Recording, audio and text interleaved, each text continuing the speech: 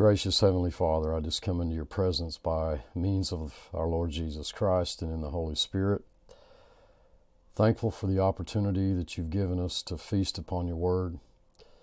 I just ask that you would filter out all the error, but seal to our hearts that which is truth and only truth, because you are our teacher. For it's in Christ's name I pray. Amen. Hi, this is Steve at blessedhopeforever.com. We're studying together in the book of Jude. I've spent some uh, quite some time looking very hard at these passages that we're about to talk about. Uh, I just I, I want to make sure first of all that uh, it wasn't talking about me, and and it uh, appears that I'm in uh, I'm in a safe zone. So we'll go ahead and proceed here. Uh, I believe we're at, at, at about verse five. Uh, two videos so far in this series. This will be part three.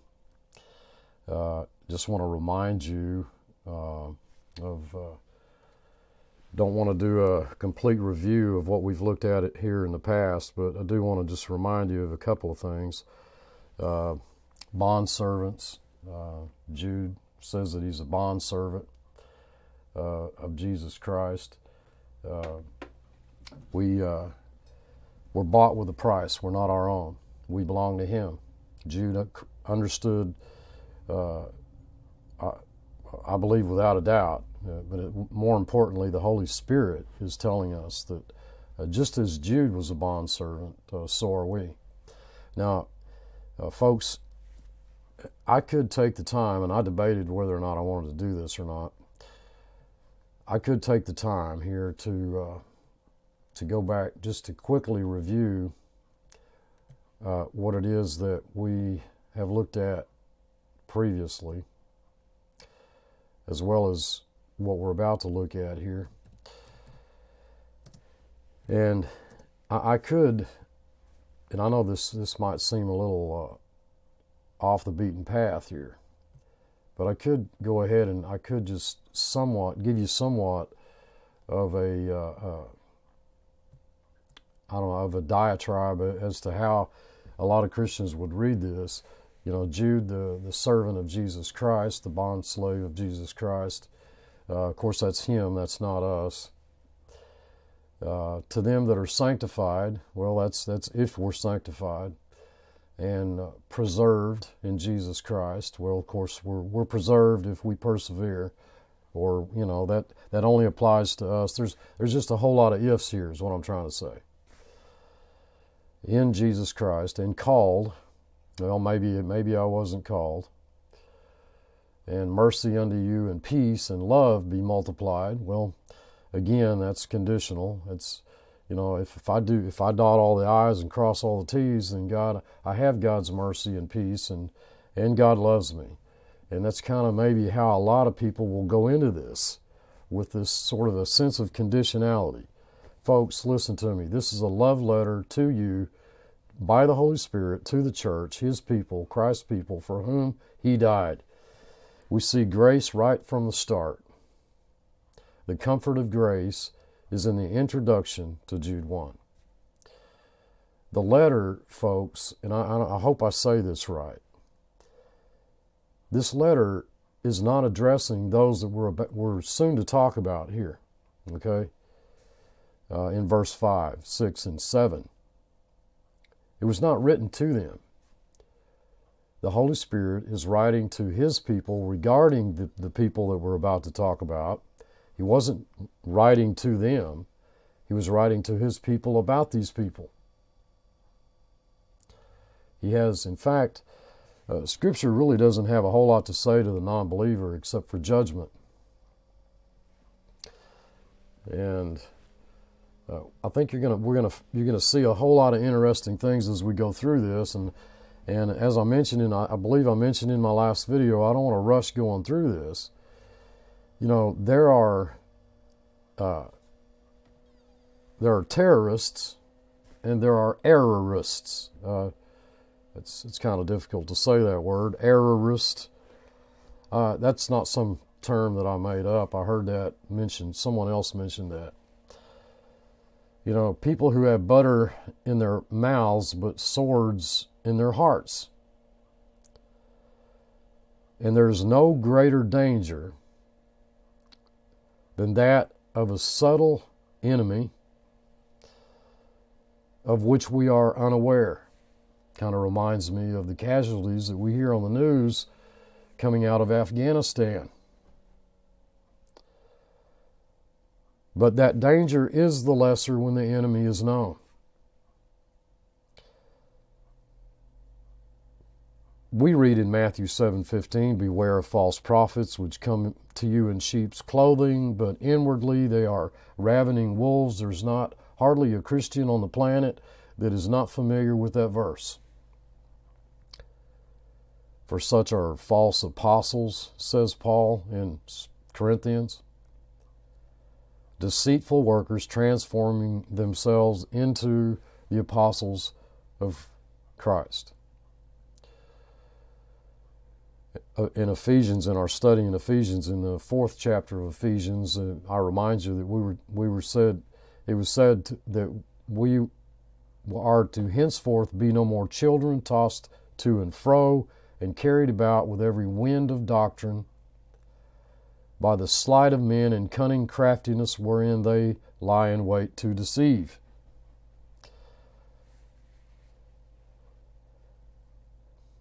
I believe that these people that they they're hard to discern at times because and, and keep in mind that there it doesn't mean the text is not saying here that when they came in unawares there weren't people in the assembly God's people who did not know or recognize them for who they were.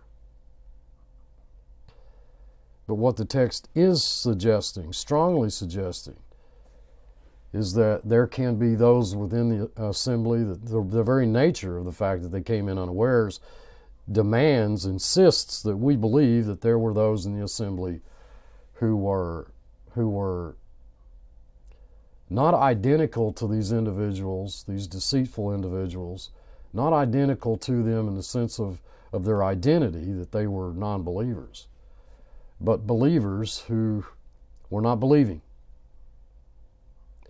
That doctrinally they aligned themselves to these individuals in such a way as to where that they to them they came in unaware these people they they hold back until they're pressed you really push them into a corner perhaps they're even quiet they're not that outspoken they mix truth with error parallel logic as i've talked about in in previous videos. They usually conceal their real opinions. They mix truth with error. There are those who hate grace. We know that just in our own daily experience. They hate grace. They, thinking that grace is not enough. That we still must live according to the law. And by that, they turn the grace of God into lasciviousness which results in a gratification of their own flesh. We know that the strength of sin is the law, which amounts to a denial of our Lord Jesus Christ, the God of all grace. And that's what the text is saying is that they have denied him. The true design of the grace of God is that denying ungodliness and worldly lusts, we may live soberly, righteously, godly in this present world. Our election and our calling being both of grace, we are bound to see that we receive it not in vain. I think we're looking at the only way that an unregenerate individual can carry the banner of God's grace. So, as I mentioned in the last video, I think we see both ends of the spectrum. We see licentiousness and legalism, and just about everything in between. So, I believe that it was God who saved a people out of the land of Egypt. I want you to take note that in the text it says people, a mixed multitude. It was God who saved a people out of the land of Egypt. He, he tells us that He redeemed them, He saved them. The word is delivered, actually, in the text. He, he saved them out of bondage, delivered them out of bondage. And because they didn't believe, many of them were overthrown in the wilderness. The word in 1 Corinthians chapter 10 is overthrown. But with many of them, God was not well pleased, for they were overthrown in the wilderness. Now, one, one possible approach to that is, is that all of God's people who did not believe Him during their journey to the promised land were ruined. The word there means to overthrow. I see, I see two possibilities here. We see in other places where that word doesn't mean to go to hell, but it does mean to be ruined.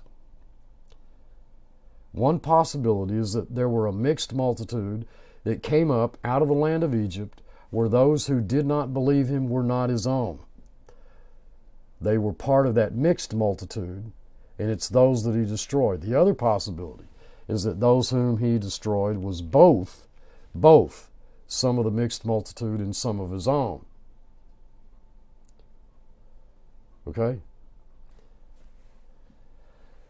When the when the scriptures, folks, when it when when God the Holy Spirit, when He calls us believers, there is no right to assume that because you're a believer that you believe all the time. In fact, most of God's children whom He calls believers probably don't believe Him very much.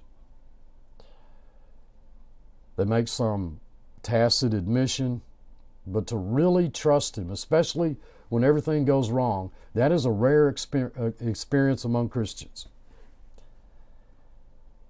So it doesn't necessarily mean when it says that they did not believe him that these were not believers. And I've, I've in the past I've talked about how that you know I've used the illustration of a thief.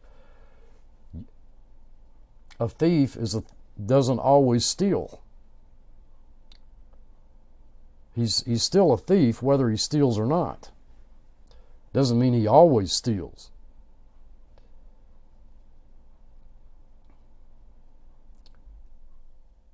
So, when it says they did not believe him, that, that these were not believers, you know, doesn't mean that these were not believers, that it doesn't mean that they're going to hell. For what it's worth, it's my opinion that this is speaking of both some of the mixed multitude and some of his own. That's what we see in this in this beginning part of this description that God's giving. Some of them were his children and some of them were not. And the angels which kept not their first estate.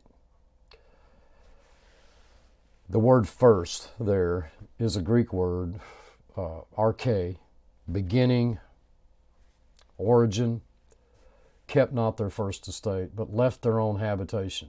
He's reserved in everlasting chains under darkness unto the judgment of the great day.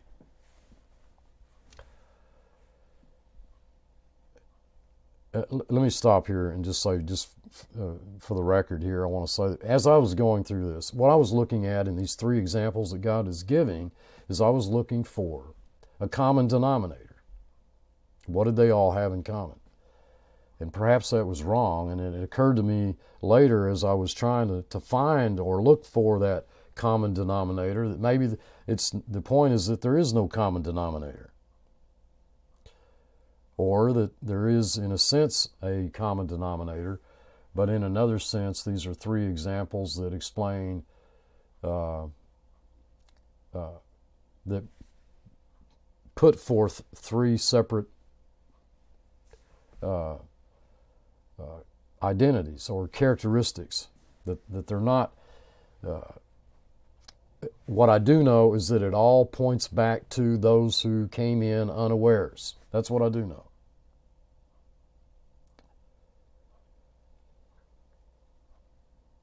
It's my opinion that this verse is a, a part of the expression of Genesis chapter 6 that these angels did not keep their first estate. They left their own environment. Okay? Try to try to keep that in the forefront of your thinking as we go through this. They didn't stay where they belonged. And they are now reserved in everlasting chains un, unto darkness. Unto, the word is actually into, eis in the Greek, the judgment of the great day. The normal argument is that uh, the Jews thought that this applied to Genesis chapter 6 when it doesn't, perhaps. That's, I don't know, that's up to you. I, I think this is an account of them entering into a relationship that was not normal. Okay? And as a result of that, there were, there were giants in the earth for a period of time until they, uh, I believe, died out in the flood. Now, you don't have to agree with me. I've studied it very carefully. I believe this is a reference to what took place in Genesis chapter 6. If that isn't the case, then these angels, whoever they were, and, and the normal position that uh, opposes this, being the experience as recorded in Genesis chapter 6. The normal position then is that they didn't like where they were. They wanted to go higher when they, when they left their own habitation, their own environment. They don't want to use that as their environment. What they want to do is use that as their position and, and they want to go higher. They wanted to be equal with God, and because of that, they were sent to everlasting chains under darkness into the judgment of the great day. So, those are the two possibilities. I think the text says that whoever this group of angels are, they can't inhabit swine and drive them down a, a hill into a lake. Now, my, my personal position on this is that these are a different group of angels. About a third of angels followed Satan in his uprising, and as far as I can see, they're still with him, and they're still active. Whether it's some or all of the third is up to you, but, but God is telling us in this verse they left their first estate. We have three examples given here. We have the children of Israel, we have these angels, and we have cities. Uh, Sodom and Gomorrah mentioned as, being mentioned uh, that with the emphasis on Sodom and Gomorrah, but but not just Sodom and Gomorrah, but the cities uh, surrounding it. And if you ask the very simple question, why these three? The answer comes back almost immediately from the, the commentators that I've in, interrogated because, well, that's what Peter said. But I don't think I'm looking at what Peter said. I think I'm looking at what, at what the Holy Spirit said. And I believe he had design in choosing these three illustrations. Whether or not, in one way or another, you can, can try to link them with Peter is incidental. To me, it's the same author, the same author that authored 1st and 2nd Peter, Peter authored Jude. And he chose these three illustrations because of these men who crept in unawares. And they were turning the grace of God into lasciviousness and denying the only Lord God, our only Master, the Lord Jesus Christ. So we have these th- we have three examples of that which is happening in the church. And those three examples are very interesting. The first one deals with those who don't believe.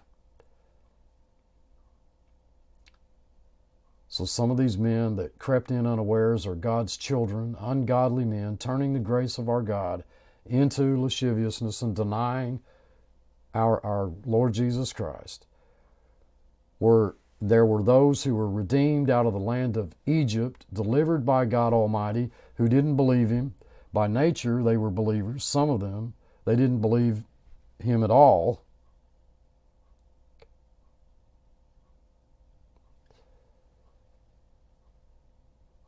I've uh, I've got a friend who, who who's you know when in discussions concerning this subject, of Joshua and Caleb. You know, we know Moses appeared on the Mount of Transfiguration. We know that, that he's in heaven. He wasn't allowed to enter into the promised land, the land of rest, because he refused to believe God, to trust God. Doesn't mean he went to hell. There are those. There are actually those. Those we.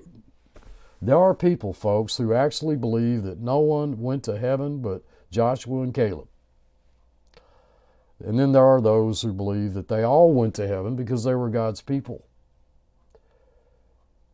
I'm trying I'm trying to suggest to you here that and I'm not asking anybody to agree with me. I believe they were a mixed multitude. Just because just because you were led out of Egypt doesn't mean that you were his. We're talking about a million people. If if give or take. I don't know exactly how many. It was a lot.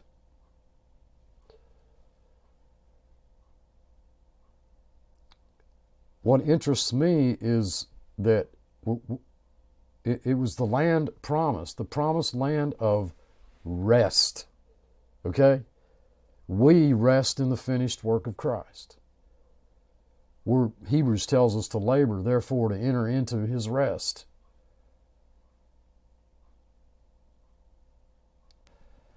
I believe that these examples are given because some of those who, who are teaching error and trying to lead others into error, turning the grace of God into lasciviousness, into excess,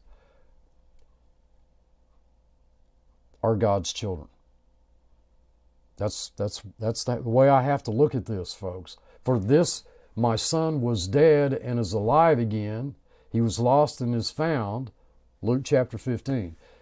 I mean, folks, can you imagine what he might have done in the far country?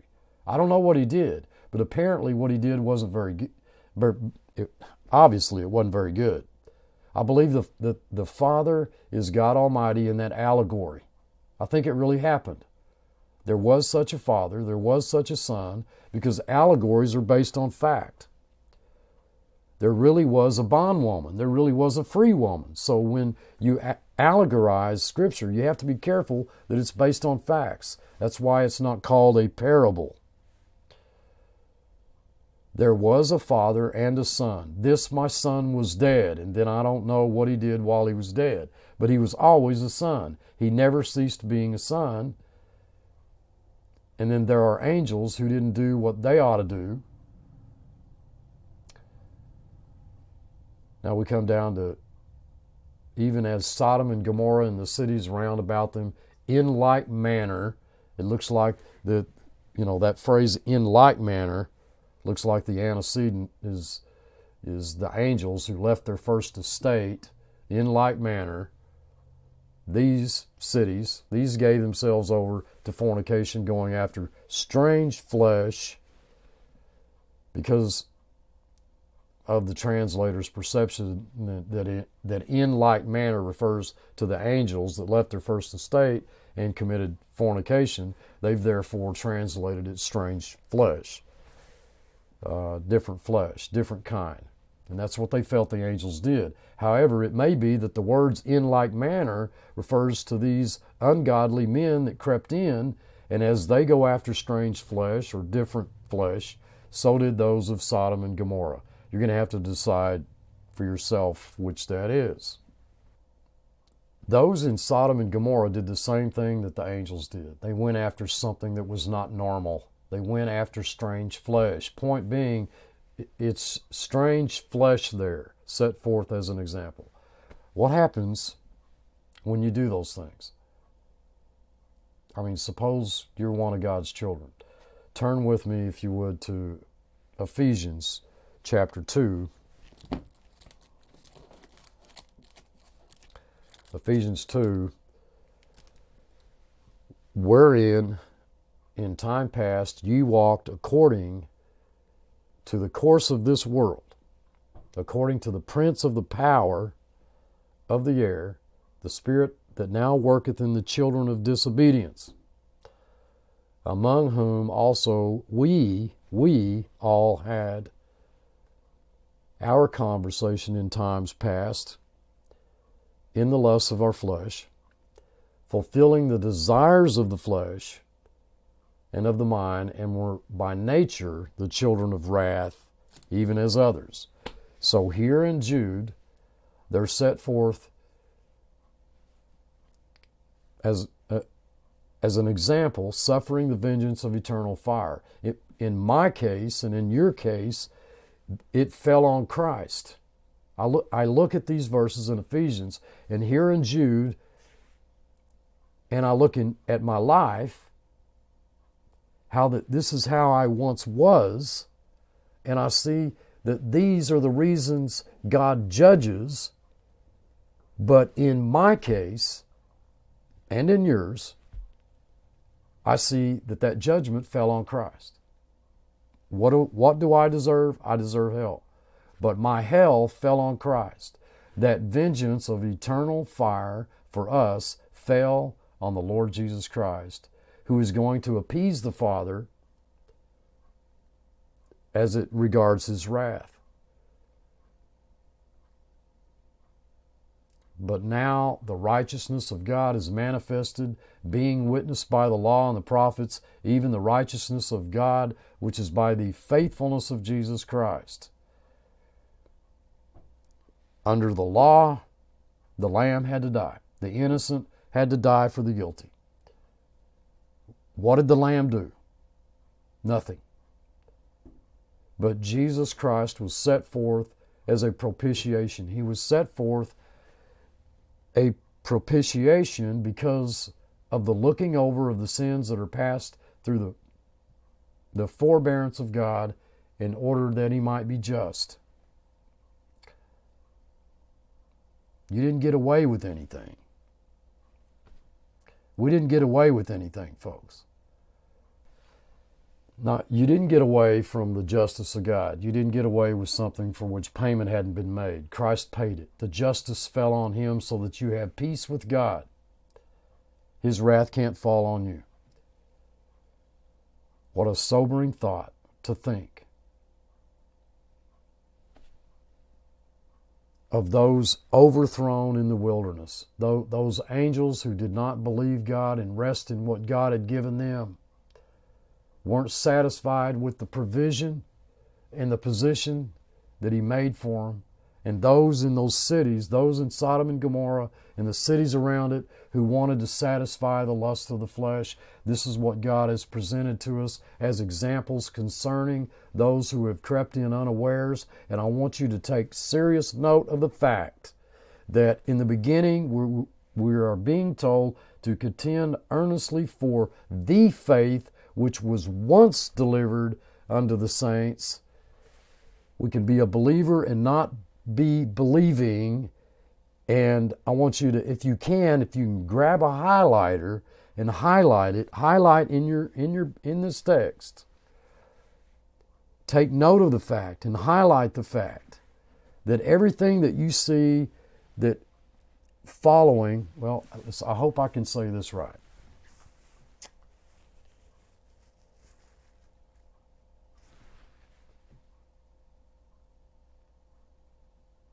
What you see, what you will see in the text, folks, here is you will see that because they didn't believe God, now you see the results of that unbelief. Uh, I'm probably going to have to do a better job of explaining this. Um,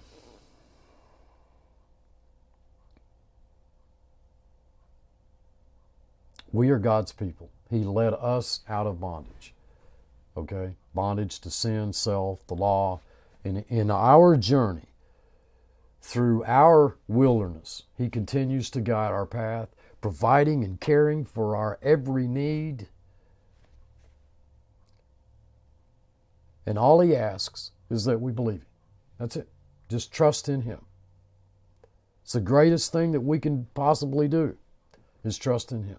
It's what I've said he desires most. I believe that for a fact. Because not to do so leads only to ruin. However, our trusting in him carries us into that place of spiritual rest. Are you, are you following? Hebrews 4 Let us therefore fear lest a promise being left us of entering into his rest, any of you should seem to fall short, come short of it. Let me let me look, just turn to this.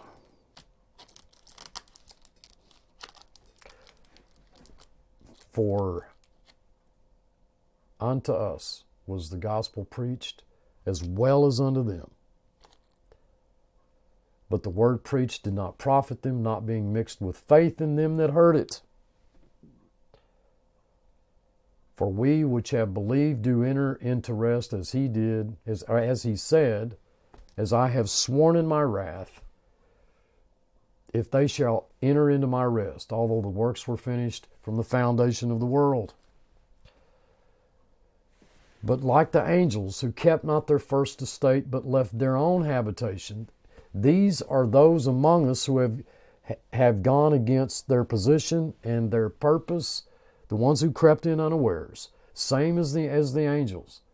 They've gone against their position and their purpose, who despise God's established order and authority, who don't belong to Him, who, who appeared uh, to be of us, but who have, like Sodom and Gomorrah, gone after strange flesh. Strange flesh. And I, I pointed out that, that that can, that's, we understand both, I think both of us can agree that we understand perfectly what was going on in Sodom and Gomorrah physically. But God is using this illustration to explain, I believe, a, a deeper. Uh, it's not that there's it doesn't include physical fornication or adultery, but there's spiritual adultery as well. It's being married to Christ and having an endless flirtatious affair with the law. And, and as I said, there's there's there's two ends. There's there's both ends of the, the spectrum. You've got legalism on the one hand, you've got licentiousness on the other. So we see those overthrown in the wilderness, those who did not believe God and rest in what God had given them, who were not satisfied with His provision and the position that God made for them, who wanted to satisfy the lusts of the flesh. That in the spirit, in the spiritual sense, folks, that's that's law spiritual adultery. And I see these are the reasons God judges, but in my case, that fell on Christ. I believe that God is asking us, or right here in this text, I believe God is is is is trying to show us that those who are in Christ, we are to live as who we are, not as who we once were not our former state, our former position, not to not to leave our present position, our our current position, to, uh, because we're dissatisfied with it, to, to go back to living as as we were. But I, I believe it's more than just a Christian under grace going back and, and living back under law. We have a mixed, we have wheat and tare growing together. Like the Israelites, He would have us dwell where we belong, in that, in that place of, of, of trusting Him through our wilderness, which results in rest, resting in what He's done for us, and not be overthrown. We rest in our position in Him. He gives us an example of those angels who did, didn't want to remain or abide in that position in which God had placed them. We see in the example of Sodom and Gomorrah and, and, and the cities around it how they turned those places that God had provided for them to reside into, places to fulfill the lusts of the flesh. In, in all three examples, we hear the same thought, I believe, in our Lord's own words when He told His disciples in the 15th chapter of John. Now ye are clean through the word which I've spoken unto you. This is what we saw in the first two verses of Jude here. We're clean. or at least we see our position. We see how God is is seeing us, is relating to us.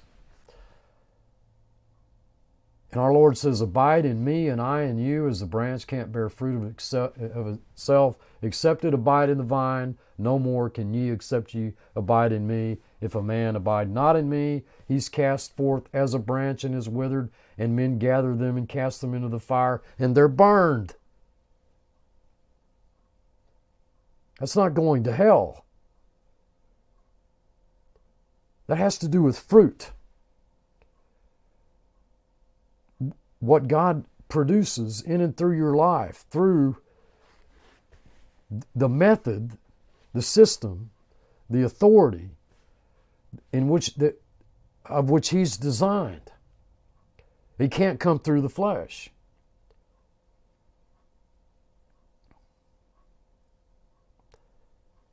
He goes on to say, These things have I spoken unto you, that my joy might remain in you, and that your joy might be full.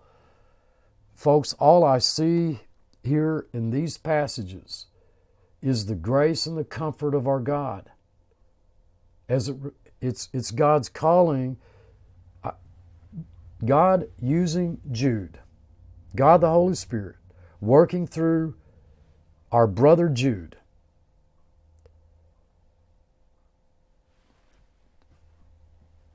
To describe a situation in the church at his time which I believe we're looking at something that's timeless here.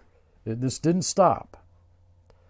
In which we have we have those within the assembly that we can not be aware of because we are basically aligning ourselves doctrinally with them.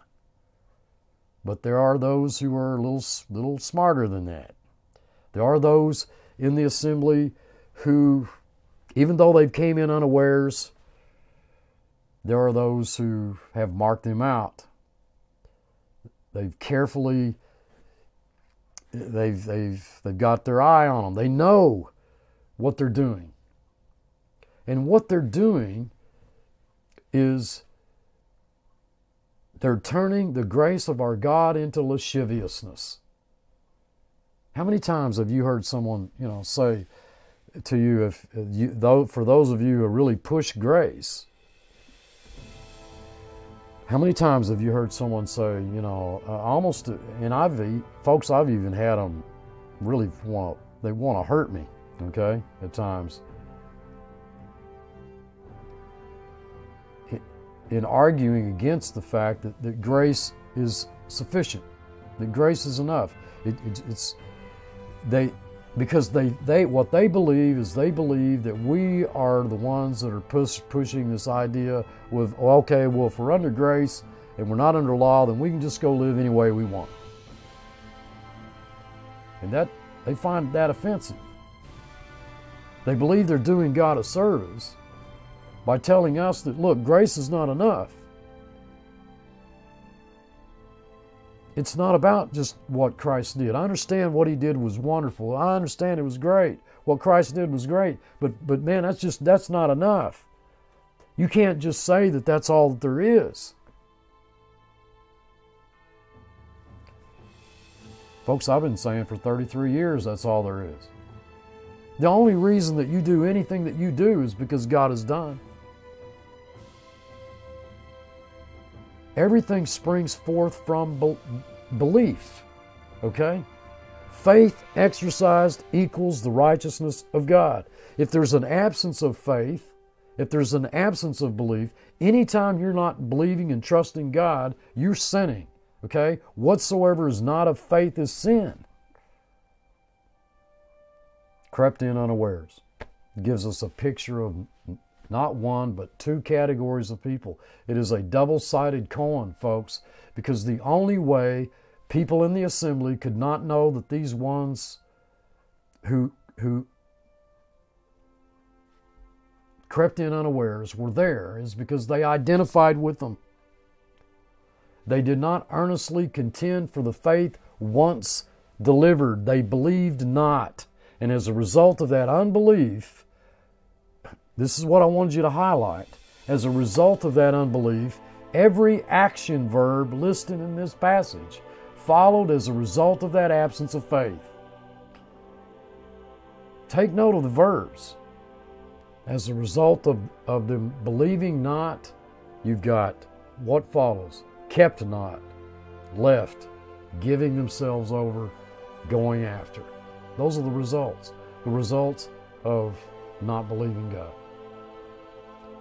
When we live outside that sphere of, of who we are, when we abandon the, uh, the place in which we truly do reside as believers, and we try to live outside that realm, it only results in spiritual ruin. But we're kept, we're preserved. We saw that the, at the very beginning of this study. Look, I love you all. I truly do. Until next time, this is Steve. Thanks for watching.